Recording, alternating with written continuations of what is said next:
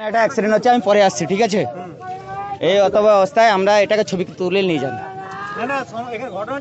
ঘটনাটা আমি জানি প্রথম থেকে পরে আসছি ঠিক আছে?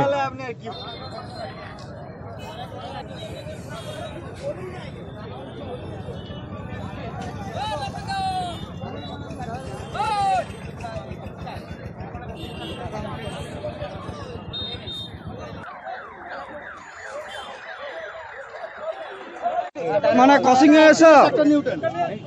এসা যে মেরে গেছে। ট্রাফিক পুলিশ কোথা ট্রাফিক পুলিশ কোথা ওই দিক থেকে মোটর সাইকেল এসছিল, ওই দিক হ্যাঁ ওই দিক থেকে মোটর সাইকেল ছিল। ট্রাফিক পুলিশ কথা ট্রাফিক পুলিশকে হাজির করুন।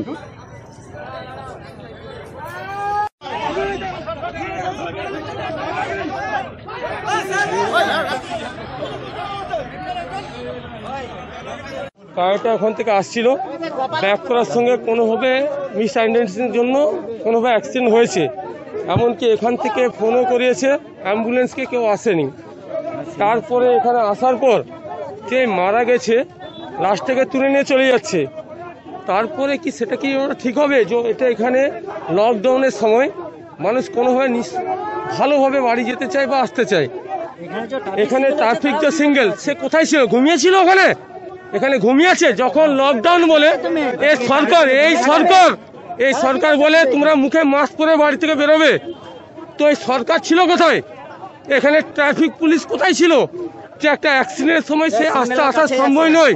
যে মেন সিঙ্গেলে ওরা কি মদ খেয়ে ঘুমাচ্ছিল? হ্যাঁ? লাশটা নিয়েছে কিসে? এই সরকারকে জিজ্ঞাসা করুন ওই লাশটা কিসে নিয়ে গেছে?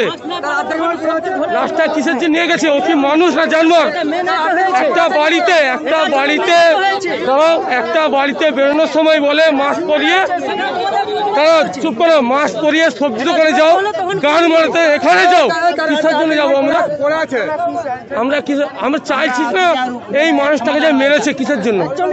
আমরা যদি মাস্ক পরিয়ে ঘুরবো চশমা পরে ঘুরবো। থাকবে হ্যাঁ অপরাধ থাকবে।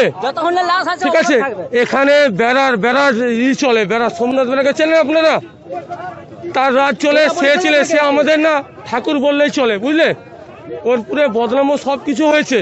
তাও সে বলে শুনুন ও আমাদের আগে পিছিয়ে থাকে চব্বিশ ঘণ্টা থাকে। এ আপনার রাজনীতি না রাজনীতি আমাদের ভালো লাগে না। যখন বাড়িতে সবজি দোকানে আসি লোক বলে কি মাস্ক পরে আয়। কোন জায়গায় আসো মাস্ক পরে আয়। এ আজকে লকডাউন মাস্ক পরে আয়। আরে আমাদের গরিব ছেলেরা কি করে? আমরা রাস্তায় চললে কি আমরা বাঁচবো না? কিসের জন্য ধরে? হেলমেট পরে না কিসের জন্য?